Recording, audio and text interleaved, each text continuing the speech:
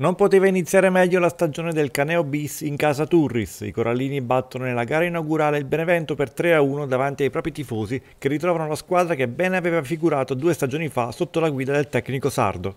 Il match inizia con gli ospiti intenti a partire bene e trovano il vantaggio con Pastina, pronto a ribattere in rete un pallone che Meccariello aveva spedito sul palo eludendo la difesa.